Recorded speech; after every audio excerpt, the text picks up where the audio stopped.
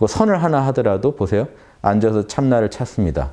모든 걸 내려놔야 우리가 참나가 더 선명하다는 것도 알아요. 그런데 내 속이 시끄러워도 참나가 있다는 건 알아요. 나란 존재감이니까요. 이 모든 걸 알아차리는 자가 참나니까요. 속이 시끄럽다고 해도 그 자리는 어디 안 간다는 것도 압니다. 그리고 몰라 하는 순간 우리가 그 자리로 돌아간다는 것도 알아요. 음.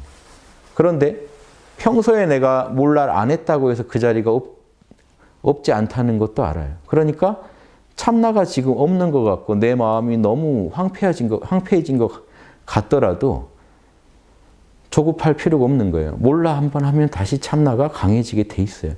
자, 이런 개념들을 하나씩 지금 따라와 보세요.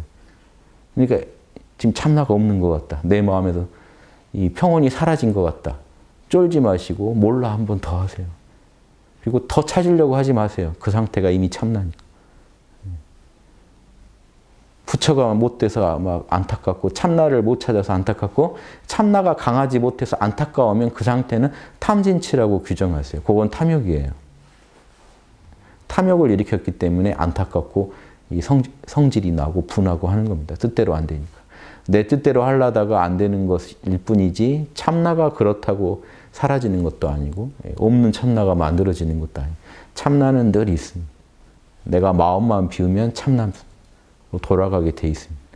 그래서 마음을 비워야 돌아가는데 참나를 찾겠다고 발버둥 치는 것도 역시 마음을 못 비운 게 되기 때문에 이것 또한 참나를 가리는 요소.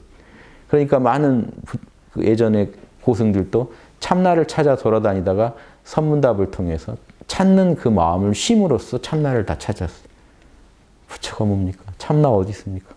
참나 좀 보여주세요라고 하고 다니다가 너무 지당한 말 그리고 참나로 돌아가라는 스승들의 신호에 내려놓고 돌아감으로써 끝났어요. 안식을 찾았어요. 뭔가를 얻어서 끝낸 게 아니고 내려, 그 마음을 내려놓음으로써 참나를 찾았어요. 이런 지혜를 발견하셔야 이게 여러분 생각 속에 확고하게 이 염체들이 자리 잡으면 이제 여러분은 누가 뭐라고 해도 흔들어 놓을 수가 없는 존재가 됩니다. 늘 참나를 만나고 참나와 함께 살아가면서 그 안에서 안식을 누리고 있는데 누가 흔들어 놓을 수 있습니까?